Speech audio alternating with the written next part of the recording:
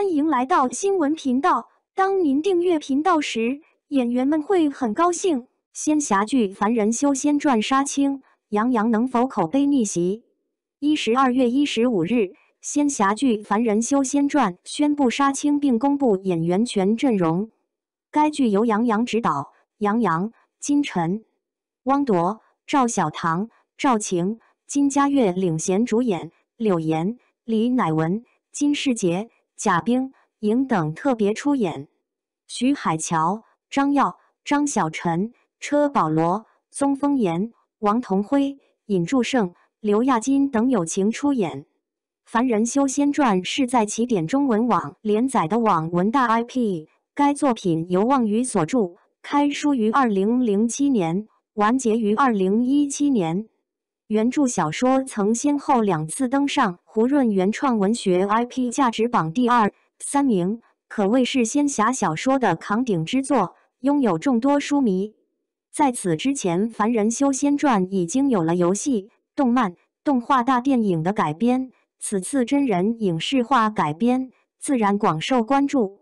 在大 IP 和人气演员的加持下，剧版《凡人修仙传》已经是未播先火。它能否成为二零二四年的预定爆款巨作？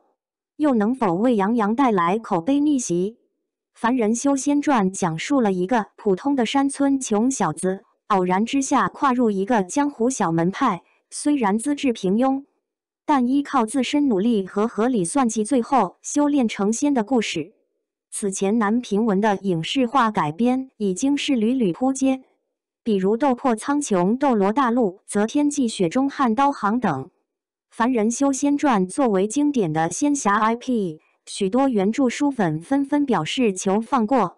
早在2020年，《凡人修仙传》就曾传出影视化改编的消息，当时不少网友给胡歌留言，表示他非常适合出演《凡人修仙传》男主角韩立。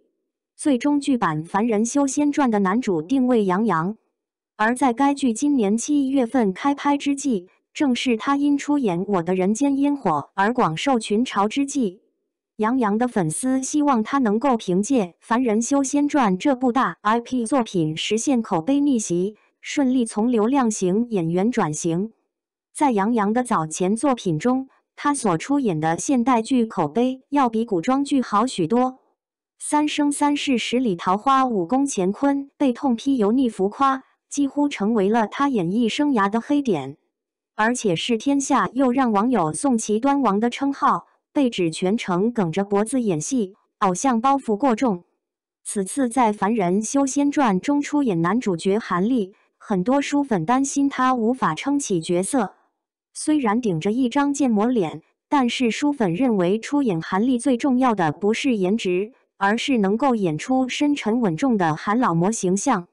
虽然很多书粉认为《凡人修仙传》不需要女主，但是在剧版中还是安排了四位女性角色。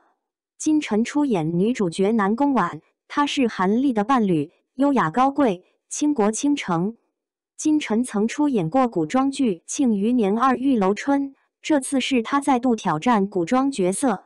此外，还有赵小棠饰演的陈巧倩，赵晴饰演的莫彩环。金佳悦饰演的董轩儿，南平文的主线都是热血奋斗，但是考虑到影视剧市场以女性观众为主的受众群，自然要在感情元素方面进行平衡。而很多书粉担心，这会让原著变得面目全非，成为魔改之作。